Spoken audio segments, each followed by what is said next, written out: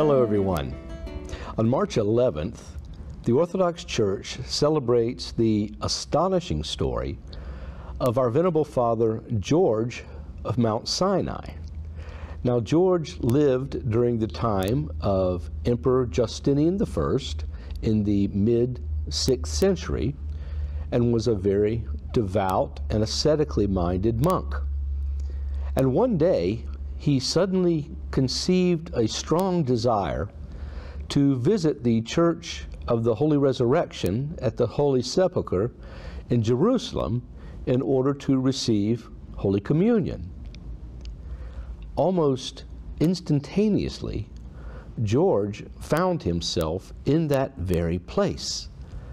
A journey of some 12 days at that time that was traversed in just a matter of seconds.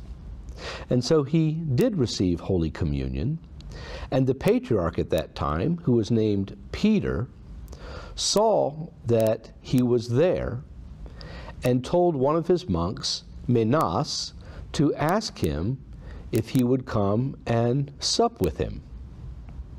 Well, George paid his respects there at the church, and just as suddenly he found himself back in Mount Sinai.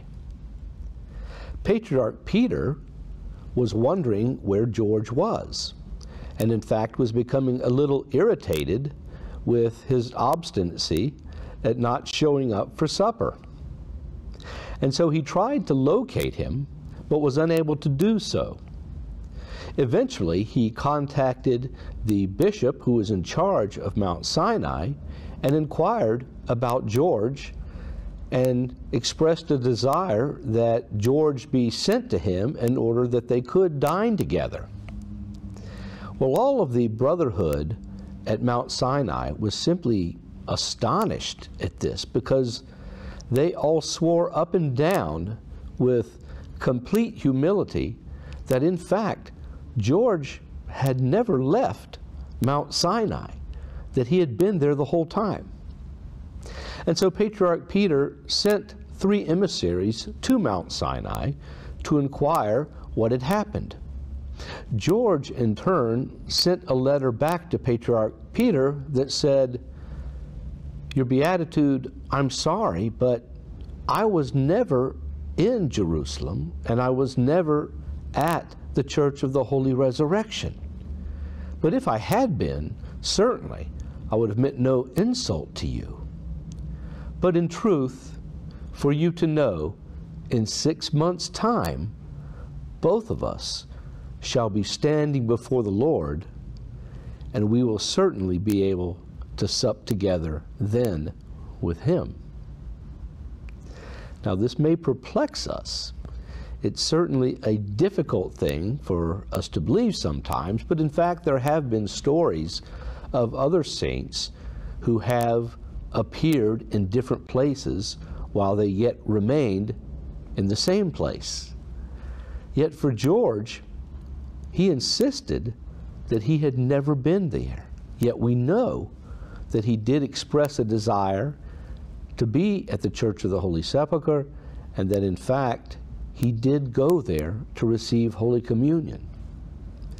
Sometimes the mysteries of the saints are great indeed, and sometimes these things happen in order to instruct us of the wonders that God works in His saints. In this case, was it perhaps for Patriarch Peter that he might be alerted to the fact that he had only six months to live and needed to prepare himself? Because George insisted that they would both be there before the Lord.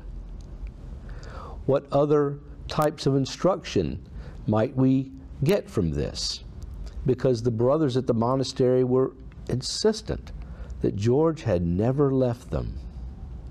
And yet, no less a personage than the famous Saint Sophronius of Jerusalem, who recorded this life and who also was commemorated on this day, thought the story grand enough and that was in possession of as much veracity as was needed for him to write it down, and he did.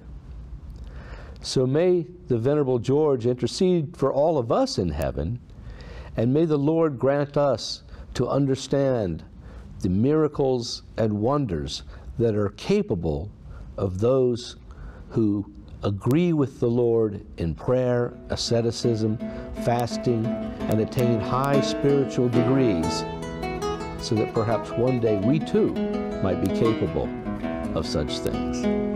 Bye bye.